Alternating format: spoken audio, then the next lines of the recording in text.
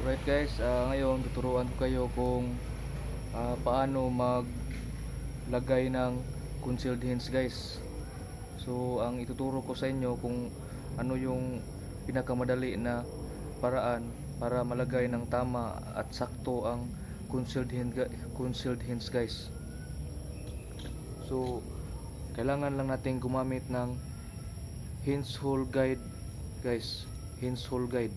Ah ito ang pinakamadali guys para ah, malagay natin ng maayos ang concealed hinge so dito guys is may nakalagay dito na mga measurement.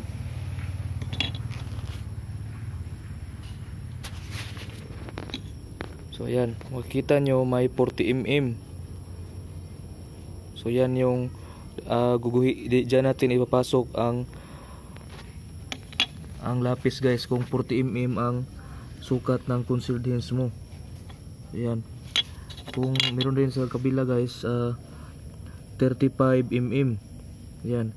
So dito ang nabili natin na concealed hinge is 35 mm guys. Ang diameter ng cap nya so yun ito yung nasa likod nya yung parang ah, yan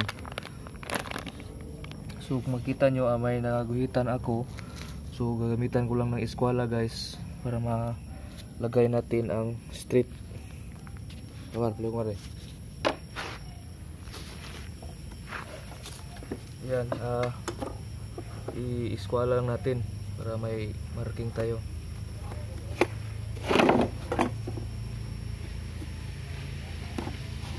Tapos ilagay natin ang hinge hole guide. So ayan, 35 mm. So ayan, isintro lang natin ang butas sa marking ng eskwala. Ayan. So dito guys, padulmar. Kung makikita nyo, may lapis dyan na guhit cross. So dyan natin ilalagay itong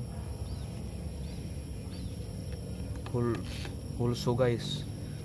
Para sa uh, concealed hinge. So dito, same din dito sa kabila, 35mm din. So yan. So ito lang guys, ah, mura lang to, mabibili through to online. Para madali ang trabaho nyo, hindi kayo magmano-mano. So yan. Ayan, perfect na to guys ngayon. So ilagay lang natin sa center yung ah, parang talim guys ng uh, hulso.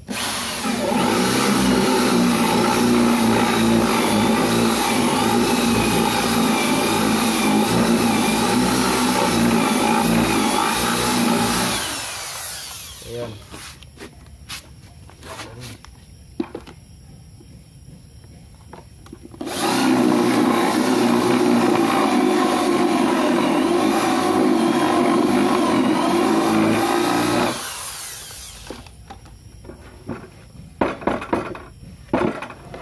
Taas na natin. Ilagay na natin ang concealed So ito ay half overlay. Regular lang to guys.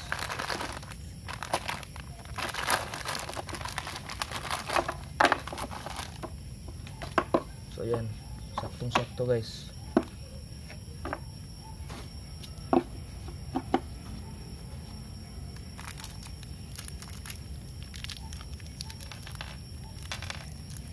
Video na mamar. ana na naman ko ikang raglain no or makasamod no hindi ano or Iwi no, iwi oh. Iwi. Iwi gihapon. Kau kuno iwi ipuan distrita daw kuno iwi mangka. Sige. Iwi ganit kan, dari tanaon. Sige, ikaw, ikaw na mangka diha. Ikaw na.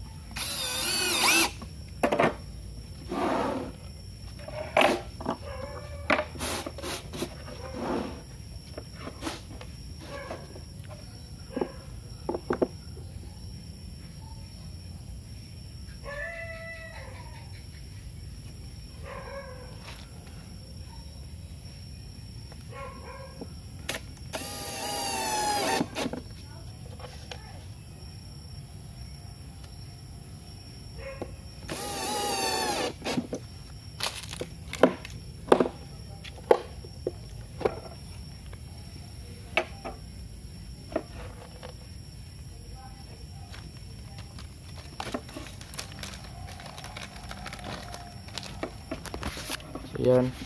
Ah, ganun lang kadali guys. So ayan, lagyan natin ng maayos.